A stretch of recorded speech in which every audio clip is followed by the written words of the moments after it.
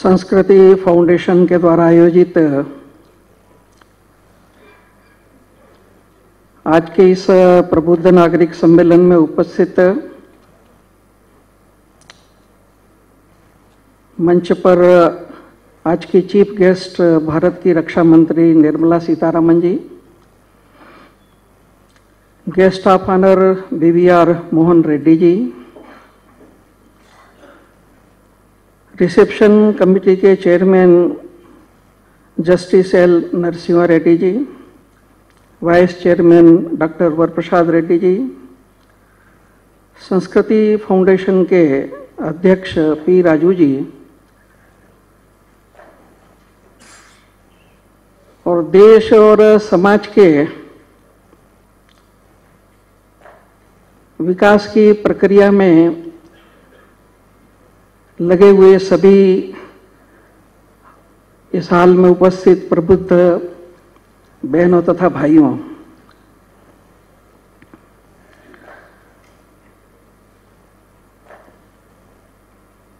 हमारे यहाँ पर जो प्राचीन ग्रंथ है अथर्ववेद,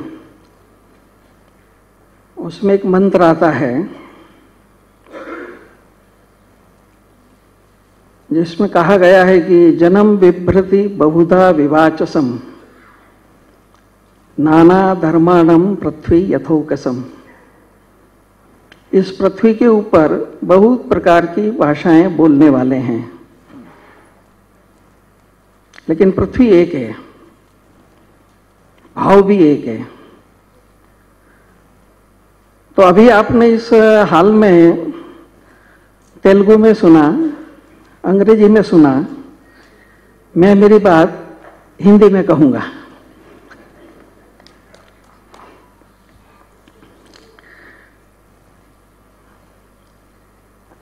आज का जो विषय है, उसके संबंध में मेरे पूर्व वक्ताओं ने फिलोसफल फिलोसॉफिकल कॉन्सेप्ट के रूप में हमारे समाज में जो एंशियंट परंपरा है उनके रूप में विभिन्न प्रकार की ट्रेडिशंस जो डे टू डे लाइफ में व्यवहार में है, उसके संदर्भ में और इस सारी प्रक्रिया के अंदर आज का जो विषय है, उसके संबंध में बहुत बातें कही है। मैं भी कुछ विचार इसके संदर्भ में आपके सामने रखने का प्रयत्न करता हूँ। आज का जो सब्जेक्ट है reemergence of India that is Bharat role of fifth state इसके दो भाग हैं। एक हमने कहा है कि री इमरजेंस पुनरोदय। इसका अर्थ यह भी एक होता है कि पहले हम महान थे, आज नहीं है। इसलिए री इमरजेंस करना है। दूसरी कॉन्स्टिट्यूशन में कहा इंडिया दैट इज़ भारत। वैसे प्रॉपर नाउन के दो नाम नहीं होते दुनिया में कभी। ये विशेषता अपने देश में है। और भारत, ये बहुत प्राचीन नाम है। तो री इमरजेंस भारत का करना है। और सेकंड पार्ट है कि इस री इमरजेंस में जो रोल है संस्कृति का, उसके संबंध में विचार करने की आवश्यकता है। इसका महत्व रेड्डी जी ने कहा कि ये फिफ्थ की बजाय फ़र्स्ट स्टेट कहना चाहिए। तो मुझे एक प्रसंग याद आया कि कोपरनिकस, जिसने सन सेंट्रिक यूनिवर्स का मॉडल वेस्ट के अंदर दिया। भारत में भी आर्यभट्ट ने उसके पहले बताया था, लेकिन हमको उसका पता नहीं रहता है। लेकिन कोपरनिकस ये पोलून में तोरून का था, वहीं उसकी समाधि है। उसकी समाधि पर एक वाक्य लिखा है here is the man who make the sun stand still and the earth move around जब कम्युनिज्म के विरोध में और लेक वालेसा का मूवमेंट चला पोलैंड में तो उसने कोपरनिकस की समाधि पे लेके इस वाक्य को एक ट्विस्ट दिया और उसने कहा we are also making this society stand still and party move around मैं उसी को थोड़ा ट्विस्ट करके ये जो फिफ्थ स्टेट है, sanskriti stand still and the whole life of Bharat is move around इसकी आज आवश्यकता है। जब रीइमर्जेंस की बात आती है तो ये ह्यूमन नेचर है कि हर एक अपना प्रभाव, अपना इन्फ्लुएंस बनाना चाहता है, उसमें कुछ गलत नहीं है। चाहे पर्सन हो, चाहे सोसाइटी हो, चाहे नेशन हो, यह दुनिया में पहले से होता रहा है। भारत के लोग भी विश्व में प्रभाव के लिए गए यूरोप और अरब के लोग भी विश्व में प्रभाव के लिए गए लेकिन दोनों के अनुभव विश्व को भिन्न हैं। यूरोप और इस्लाम जब अपने इन्फ्लुएंस के लिए विश्व में गए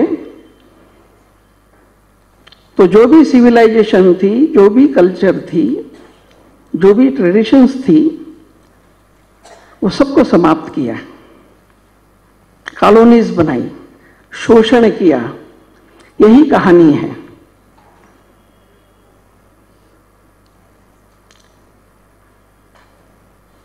और इसमें आज भी कोई विशेष अंतर नहीं आया है। जब बाइपोलर दुनिया थी सोवियत संघ और अमेरिका ये दो और पोल थे। और जब 90s में सोवियत संघ ध्वस्त हुआ, तब एक चर्चा चली कि अब सिंगल पोलर दुनिया हो गई है, अमेरिका सुप्रीम हो गया।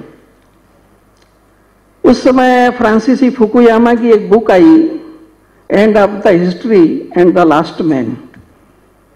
उसमें उसने कहा कि अब यह निर्विवाद रूप से हो गया है कि अमेरिका यह वर्ल्ड ऑर्डर देगा। लेकिन ये देने के लिए क्या करना है?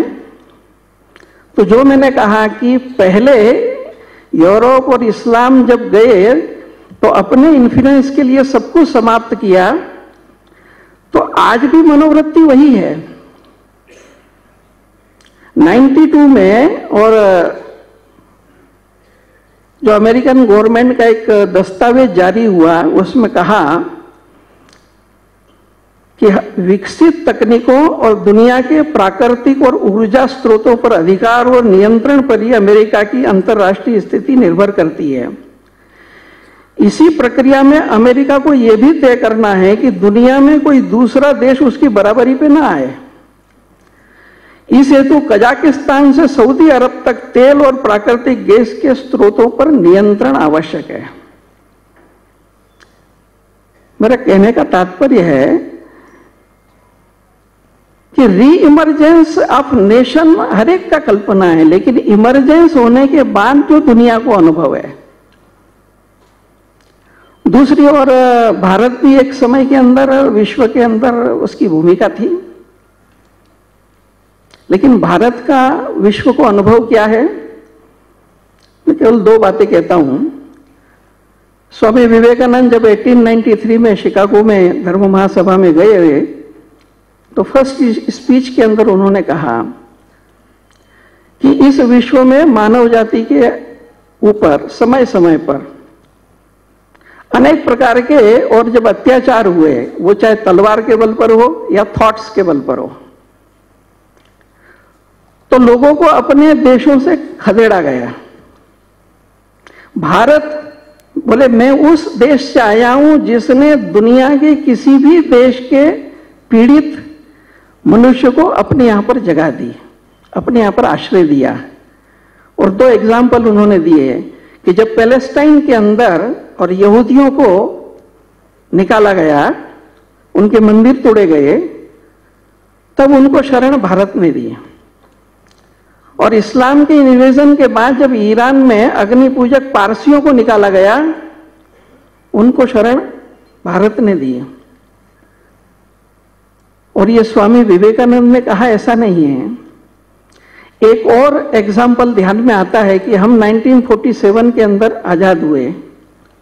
हमसे एक वर्ष बाद आज का इसराइल अस्तित्व आया 1948 में। जब 1948 में आया तो इसराइल डेजर्ट था। दलदल था, कुछ नहीं था।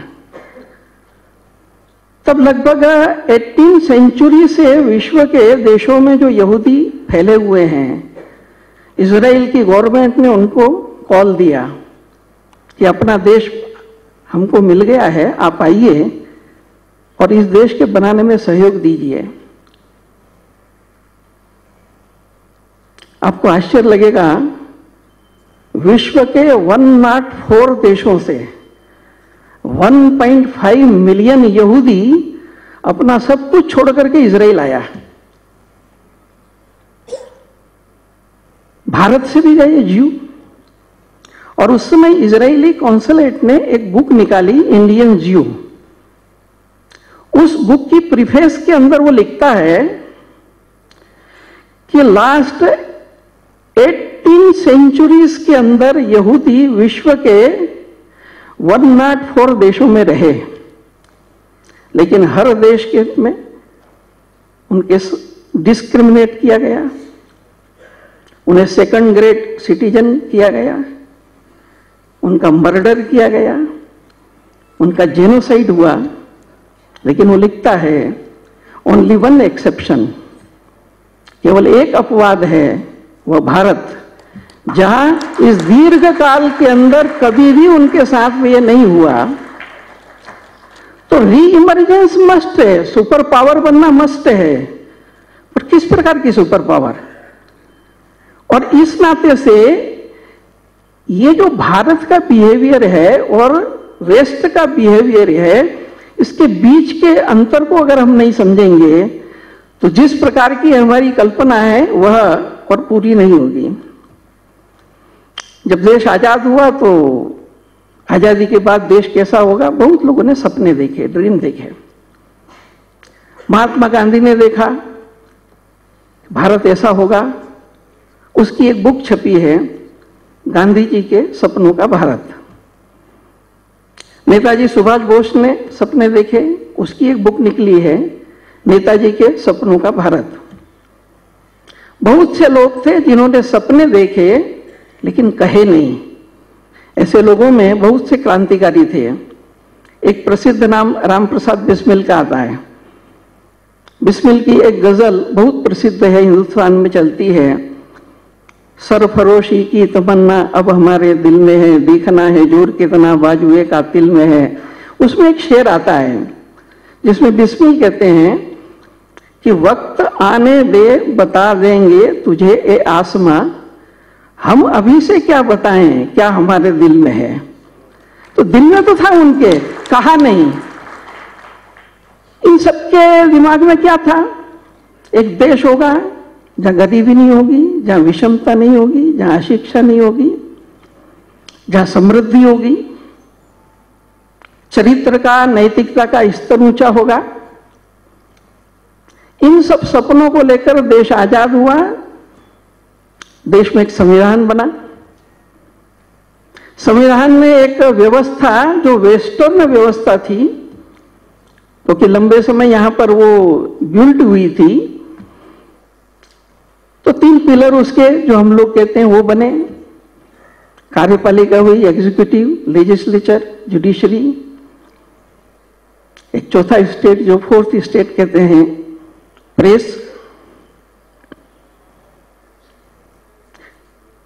रचनाएँ बनी, लेकिन अनुभव क्या आता है? आज़ादी के बाद भी जो ब्यूरोक्रेटिक सिस्टम ब्रिटिश ने रूलर्स मास्टर्स एंड सर्वेंट इस माइंडसेट का बनाया था, उस माइंडसेट में कोई चेंज नहीं आया। आज़ादी के बाद पुलिस को देखकर साधारण आदमी को मैं प्रोटेक्ट हूँ, ऐसा अनुभव नहीं होता है। उसको फियर लगती, भय लगता है। जो तंत्र है, वो कुछ सुपर मेंटेलिटी में है और सामान्य आदमी एक अन्य अवस्था के अंदर है। लेजिस्लेचर के अंदर जो कानून बने संविधान निर्माताओं की कल्पना कुछ भिन्न थी। लेकिन ध्यान में आता है कि कानूनों का इंप्लीमेंटेशन उसके प्रश्न है। जुडिशरी तो आज लोग कहते ही हैं कि सिविल केस चलता है और आदमी मर जाता है, लेकिन डिसीज़न नहीं आता है। कभी कभी चर्चा चलती है कि न्याय केवल जो पावरफुल है, उन्हीं के लिए है। जो बोल नहीं सकता, जो अप्रोच नहीं कर सकता। और प्रेस नेशनल मूवमेंट के समय ज़रूर बहुत बड़ा रोल था। एक आइडियोलॉजिकल रिवॉल्यूशन के रूप में नेशनलिटी को जगाने में। लेकिन आज वो भी suspense thrill TRP right wrong नहीं। इसी पर है। और इसलिए कुल मिलाकर लगता है कि संविधान बनाने वालों का हेतु बहुत अच्छा था। जिन्होंने आज़ादी के लिए अपने जीवन को और लगा दिया, उन सबके मन में सपने थे। पर सितर साल बीतने के बाद भी हमको लगता है कि कुछ ना कुछ गड़बड़ है। तो कहीं ना कहीं मूल गड़बड़ है।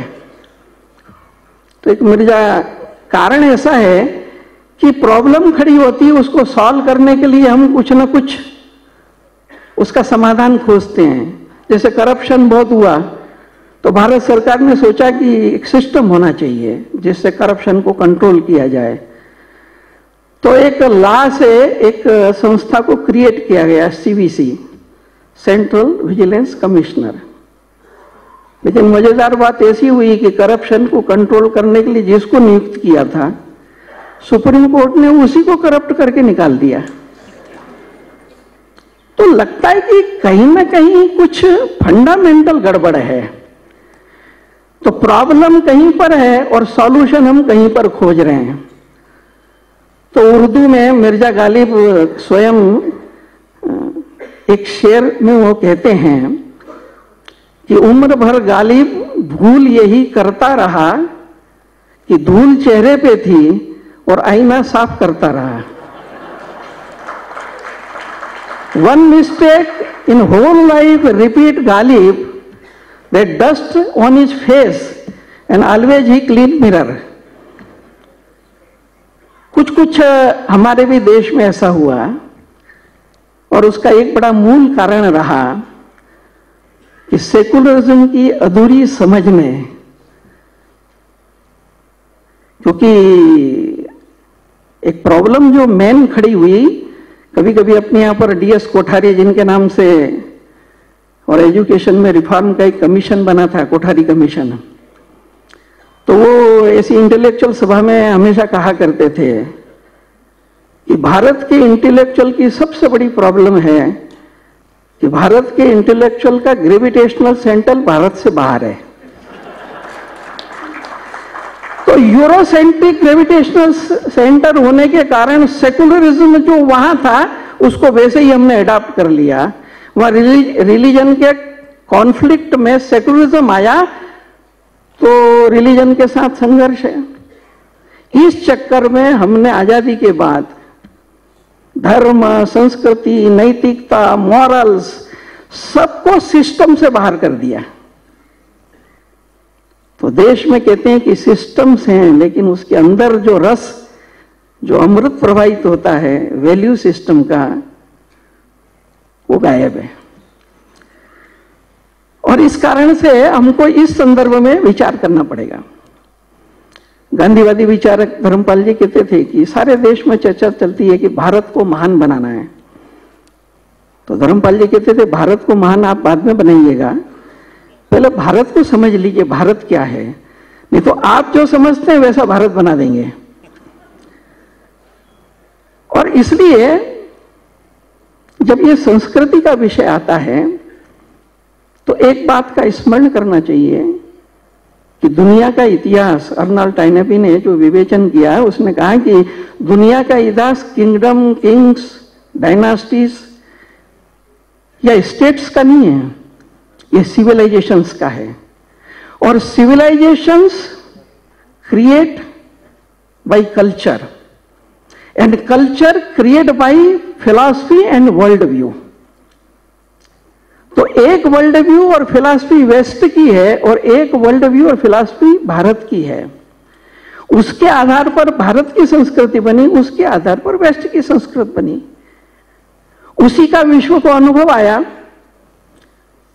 और इसलिए आप देखेंगे कि वेस्ट की जो और वर्ल्ड व्यू रहा, उसका एक जो बेसिक कॉन्सेप्ट रहा, जो सेमेटिक मजहबों के अंदर, कि कंटिन्यूस फाइट बिटवीन टू ईश्वर और शैतान गॉड और सेटन कंटिन्यूस फाइट है, कहीं मिलते नहीं है।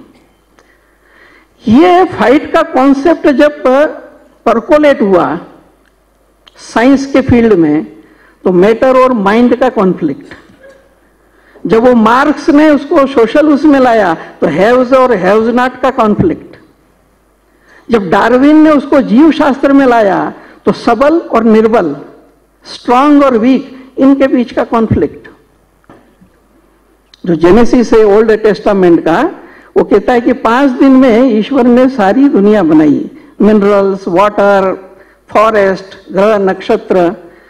छठे दिन उन्होंने स्त्री और पुरुष को बनाया. और फिर कहा, ये जो सुंदर दुनिया मैंने बनाई है, वो तेरे भोग के लिए है. यह वर्ल्ड व्यू था आदमी के पास, लेकिन पावर नहीं थी। Last two three hundred years में साइंस और टेक्नोलॉजी की सोफिस्टिकेटेड पावर और ये वर्ल्ड व्यू इन दोनों के कॉम्बिनेशन से जो मॉडल आज बना है, उसके कारण से आज प्रश्न खड़े हुए हैं।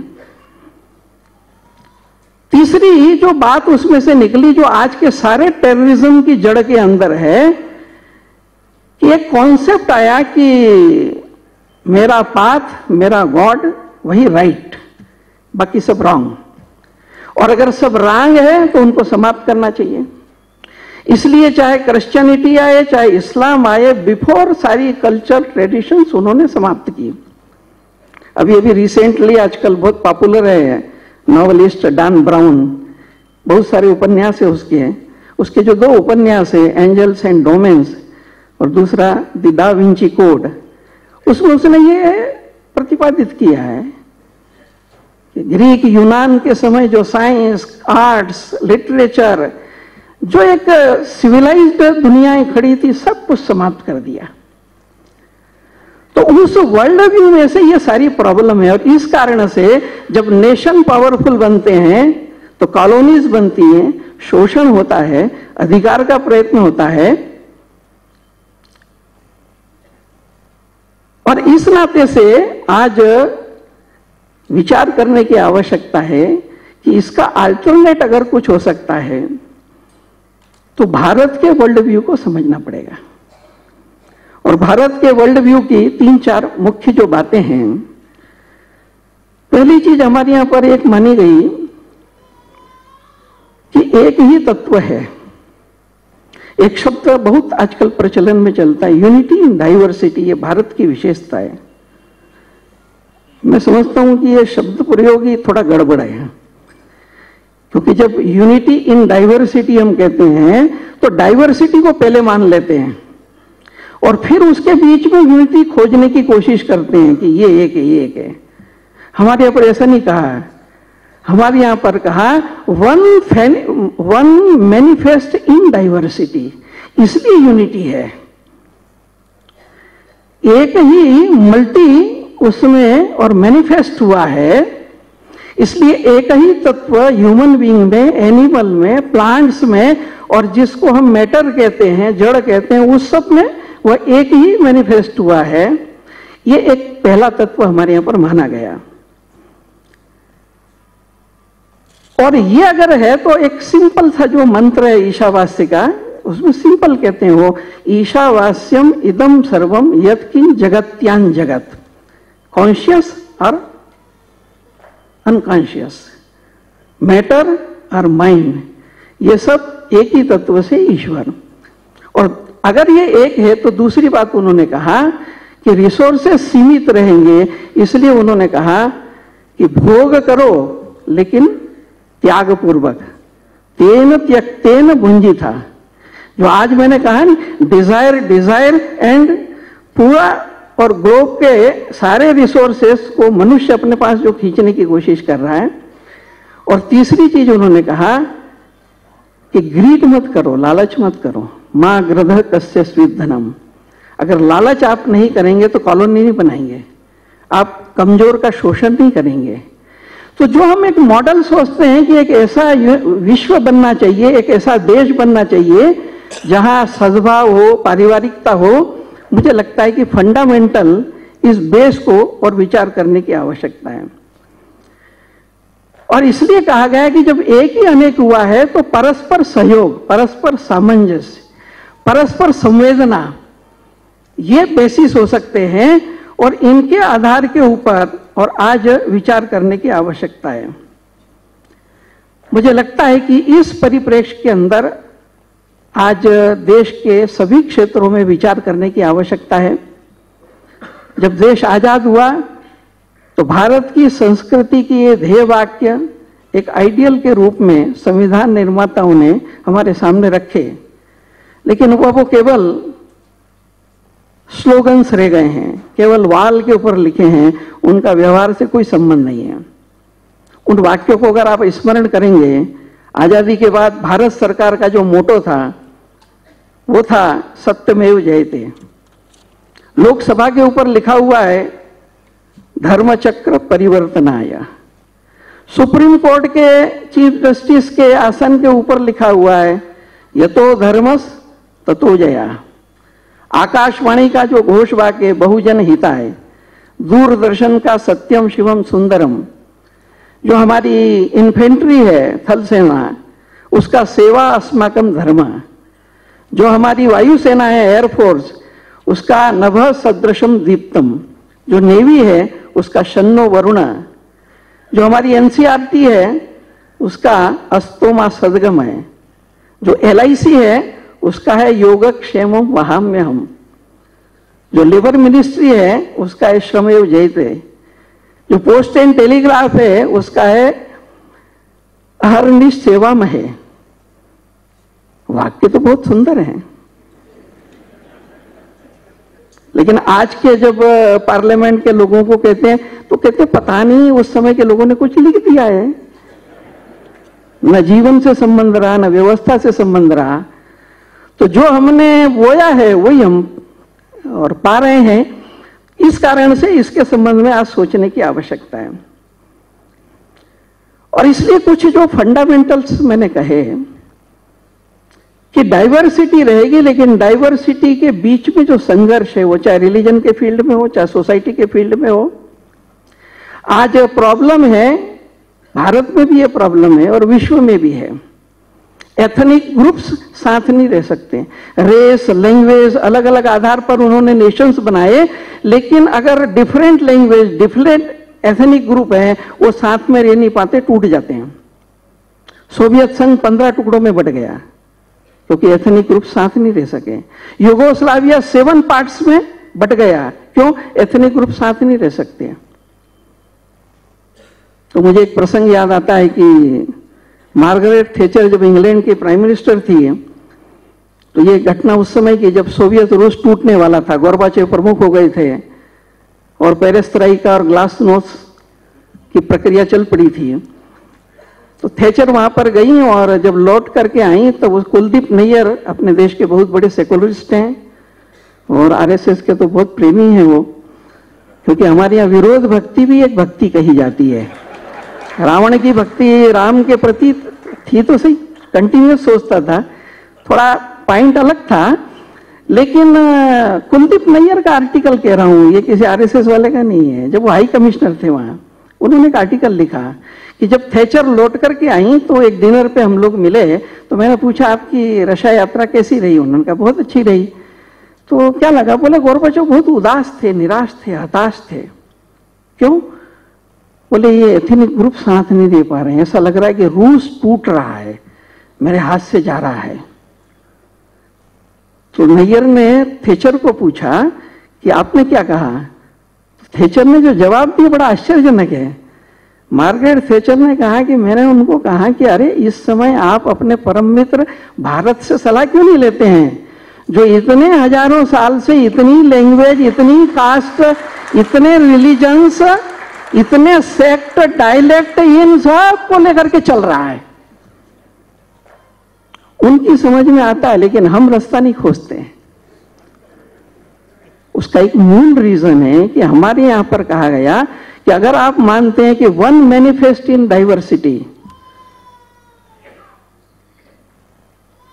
तो संस्कृत में जो प्रॉब्लम खड़ी होती है डिफरेंट कास्ट के बीच में डिफरेंट रिलीजन्स के बीच में डिफरेंट लैंग्वेजेस ग्रुप्स के बीच में, उसका रीजन एक है कि हमारे यहाँ पर कहा गया कि चाहे व्यक्ति हो, चाहे भाषा हो, चाहे कोई भी आइडेंटिटी हो नंबर वन वो अपना एग्जिस्टेंस चाहता है।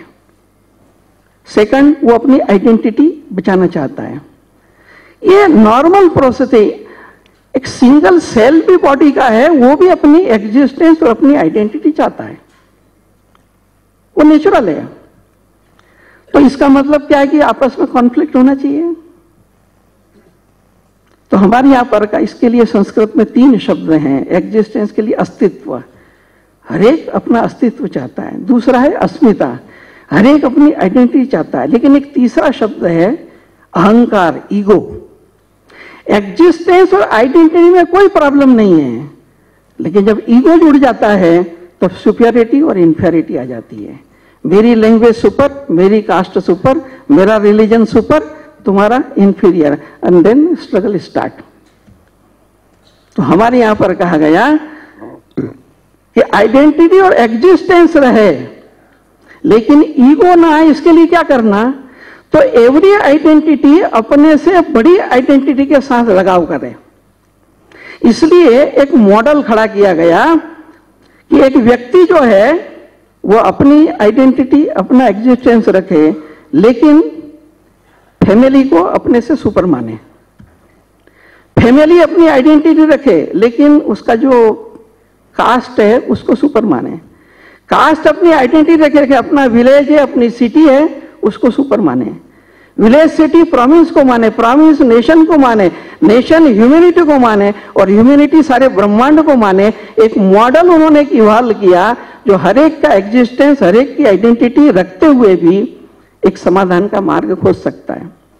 मुझे लगता है कि आज तमिल और हिंदी को लेकर लिंगायत गुजर पाटीदार, दलित भिन्न भिन्न प्रकार की आइडेंटिटियों के जो विवाद है मुझे लगता है इन सब के अंदर जो हम सब की बातों में आया कि भारत भारत की संस्कृति, विश्व मानवता, इसके साथ में एक लगाव की एक प्रक्रिया जो भारत ने एक मार्ग दिखाया है, वो इन चीज़ों का समाधान कर सकता है।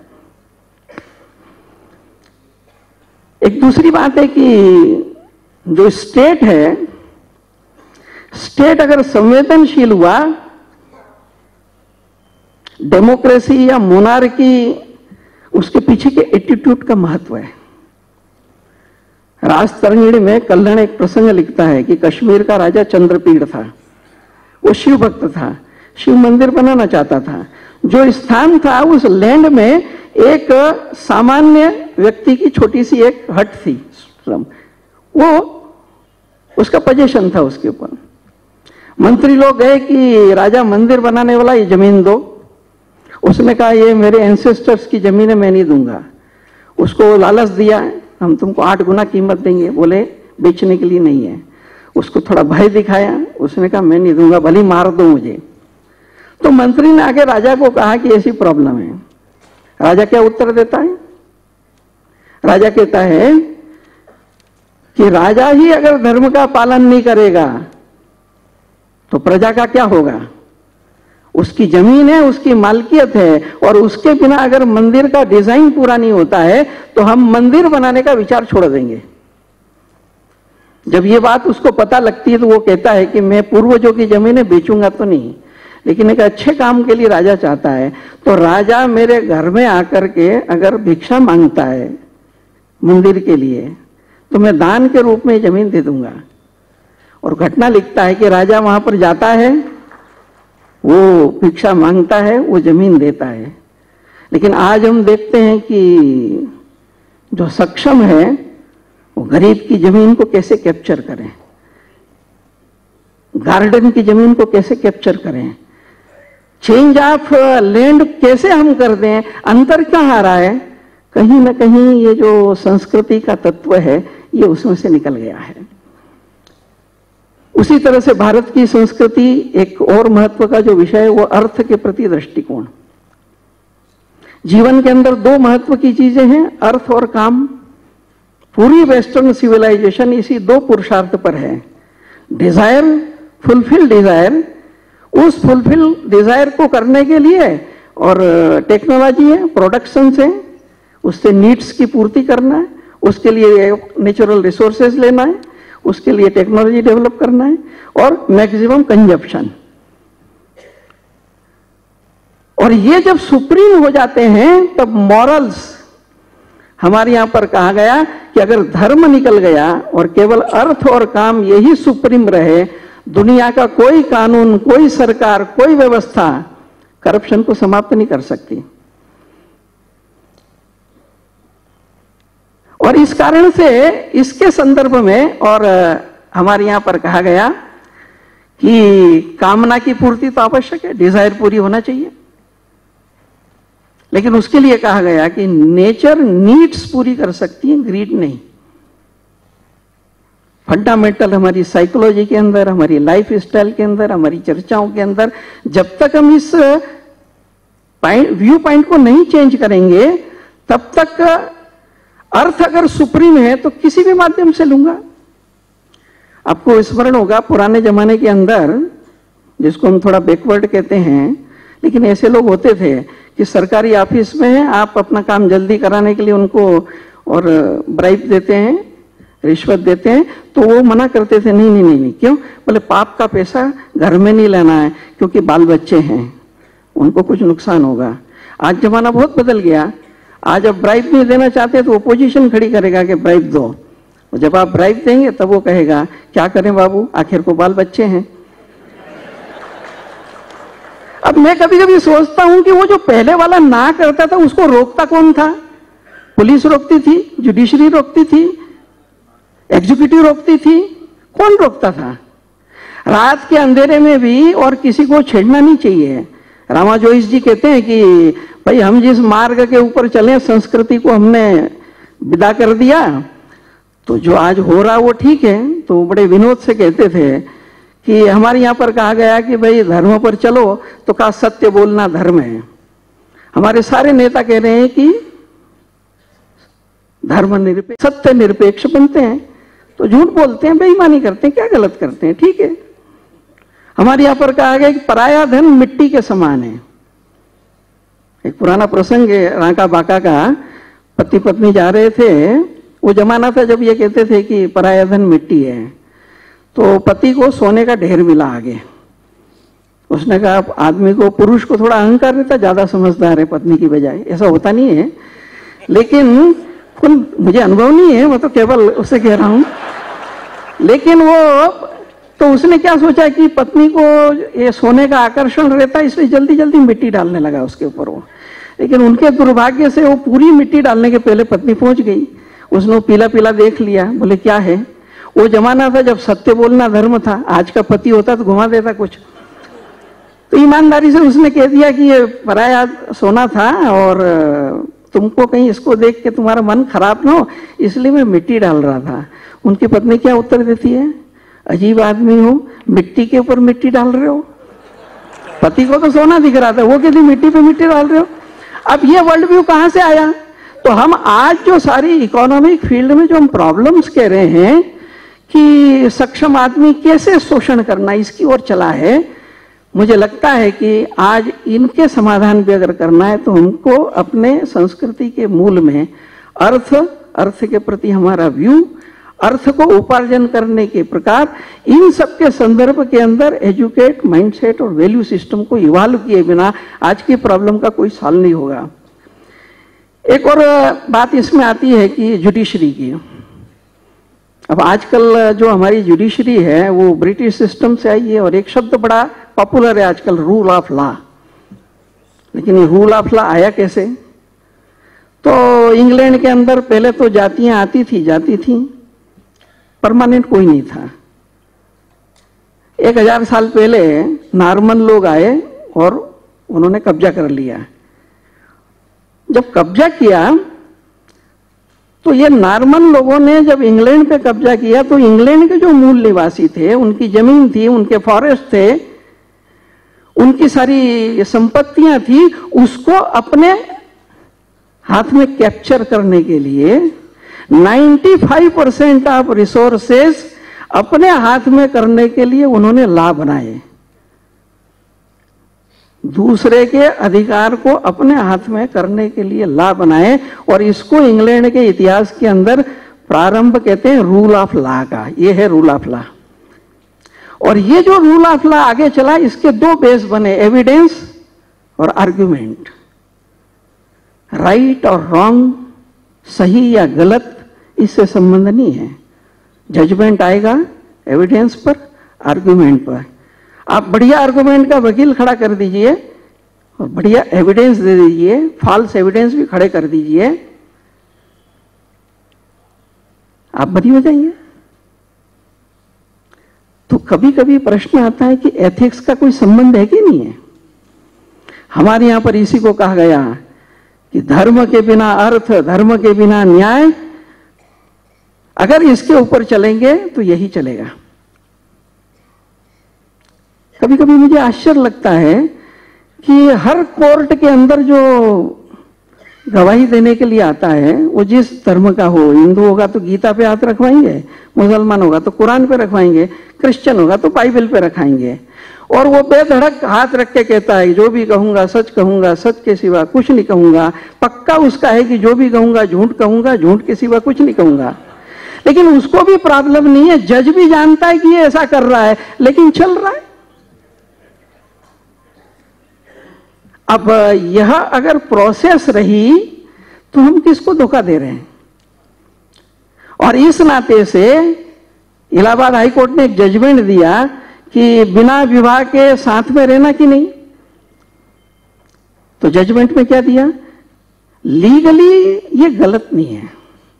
लेकिन एक भगवान की दया से कुछ थोड़ी बहुत संस्कृति का प्रभाव है तो एक लाइन उसमें लिख दी, लेकिन मॉरली ठीक नहीं है। या मॉरल का कोई संबंध है कि नहीं? देश में विचित्र बहस चलती है इंटेलेक्चुअल जगत में। एक बड़ा विषय चला आजकल, है? गे मैरिज जैसे यही विश्व की सबसे बड़ी समस्या है। मुझे एक ने कहा कि आपका क्या कहना गे मैरिज में? मैंने कहा, मैंने तो मैरिज ही नहीं की। लेकिन आप जो कह रहे हैं, बहुत सुंदर विचार है, सारा विश्व इसको अपना ले तो कुछ वर्षों के बाद विश्व में कोई प्रॉब्लम ही नहीं रहेंगी, क्योंकि कोई रहेगा ही नहीं। सवाल यह है कि, ठीक है, मनुष्य तरह तरह की प्रवृत्ति के होते हैं, लेकिन हम बेस किसको बनाने वाले हैं? आज डेवलपमेंट की बात बहुत चलती है, लेकिन हमारे यहाँ पर कहा गया कि जब हम डेवलपमेंट कहते हैं विकास तो विकास कैसे होता है? हम एक पैर आगे रखते हैं, वो ज़मीन पे रहता है, दूसरा पैर ऊपर उठाते हैं। फिर उसको नीचे रखते हैं, फिर दूसरा पैर ऊपर उठाते हैं। इसी तरह से आगे बढ़ते हैं। ये ज़मीन पर रखा हुआ पैर संस्कृति है, और ये ऊपर उठा हुआ पैर जिसको आप मॉडर्निटी कहते हैं, वह है विदाउट फाउंडेशन ऑफ़ संस्कृति कोई कहे आज जो चल रहा है कि नहीं हम तो पैर रखेंगे ही नहीं यहाँ पर एक पैर ऊपर बिना उसको नीचे किए दूसरा भी ऊपर कर सकता कोई प्रॉब्लम कुछ नहीं है लेकिन होगा क्या डिस्ट्रॉय हो जाएगी सिविलाइजेशन मुझे लगता है कि संस्कृति के इस अधिष्ठान के ऊपर आज विचार करने की आवश्यकता है। हमारे यहाँ पर सिटी डेवलपमेंट होता है। स्वामी विवेकानंद से पैट्रिक गेडेस का संपर्क आया था। दुर्भाग्य से चंडीगढ़ के कारण हम कार्ल बुर्जियस को बहुत जानते हैं, लेकिन पैट्रिक गेडेस को भूल गए। 1950s में उसने और सिटीज़ इन रिवोल्यूशन बुक लिखी। विवेकानंद जी से वो मिला था और उसने होलिस्टिक लाइफ, ये संपूर्ण सृष्टि एक लिविंग एंटिटी है, इसको समझकर तेल अभी उसने बनाया, पेरिस को सुंदर उसने बनाया पैट्रिक गेटेस ने 15 सिटीज़ के ऊपर भारत में काम किया। अपनी बुक के अंदर वो कहता है कि कल्चर और नेचर हमारी नगर रचनाओं के अंदर इसके साथ जीना सीखना पड़ेगा। पहले हमारी रचनाओं के अंदर मनुष्य भी रहता था, पशु की भी जगह रहती थी, पक्षी भी रहते थे, पानी भी रहता था, पेड़ भी रहते थे ट्री भी रहते थे। आज हम एक ऐसी सिविलाइजेशन डेवलप कर रहे हैं कि मेट्रो सिटीज़ के अंदर केवल मनुष्य है। और शेष जितने हैं एनिमल्स बर्ड्स फाउंटेन रिवर वो सब हमारे ड्राइंग रूम की वॉल के ऊपर एक पेंटिंग में है। जब लाइफ के साइकिल को हम तोड़ देंगे तो प्रॉब्लम्स का सॉल्व नहीं होगा।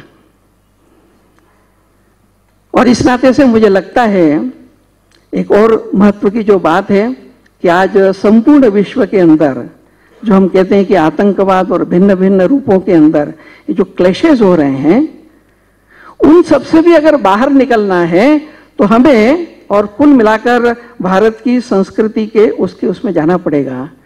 और इस नाते से एक पाँच सात मिनट और संक्षेप में मेरी बात पूरी करता हूँ कि थोड़ा पीछे मुड़कर हम ये जो भारत में कहा गया कि एक ही तत्व पूरे समाज जीवन में है तो हमारे यहाँ माना गया कि ये जो दर्शन है, ये जो सांस्कृतिक जीवन मूल्य है, ये each and every not only executive legislature और जुडिशरी बट अवर फैमिली हमारा बिज़नेस हमारा मार्केट हमारा गाँव, हमारा शहर ऑल वेक्स ऑफ़ लाइफ यह तत्व प्रभामान है।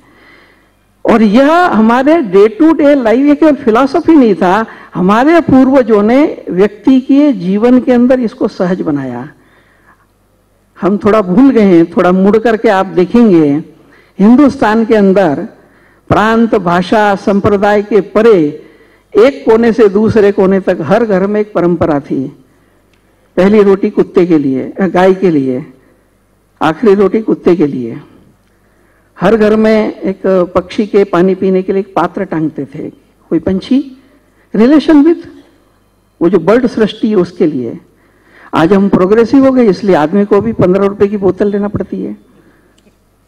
घर के बाहर पशु के लिए हौज बनाते थे। मछली को आटा डालते थे, चीटी को चीनी के दाने डालते थे। आर्थिक व्यवहार के अंदर अगर रिक्शे की लाइन लगी हुई है और कोई आदमी कहता है जिसका पंद्रवा नंबर है सीरीज़ में, और वो कहता है कि भाई, सुबह से एक भी ग्राहक नहीं मिला है। पूरे भारत में एक परंपरा थी, चौदह अपना भाग छोड़कर उसको मौका देंगे एक। ये परस्पर सहयोग का व्यवहार था।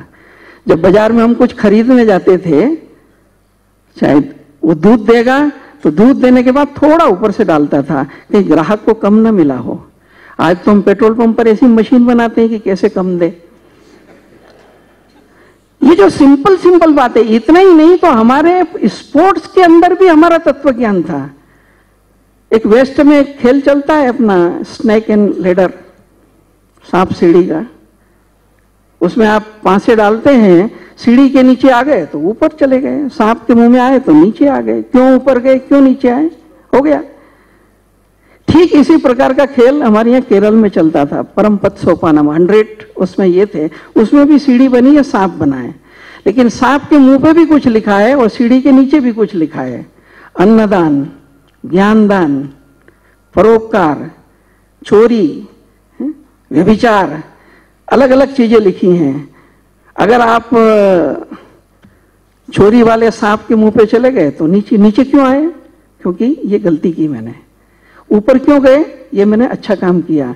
इन स्पोर्ट्स के अंदर भी एक वैल्यूज़ ऑफ़ लाइफ दिखाया।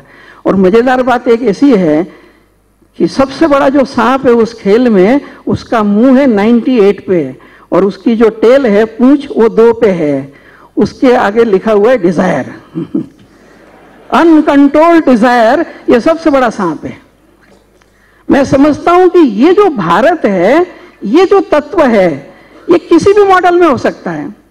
और इसलिए भारत के अंदर चाहे ट्राइबल में रहने वाला आदमी हो, जिसके अनेक उदाहरण निर्मला जी ने दिए, चाहे रूरल में रहने वाला आदमी हो, चाहे सिटी में रहने वाला आदमी हो अंडरलाइन करंट ये एक ही था। मुझे लगता है इस एकत्व को आज समझने की आवश्यकता है।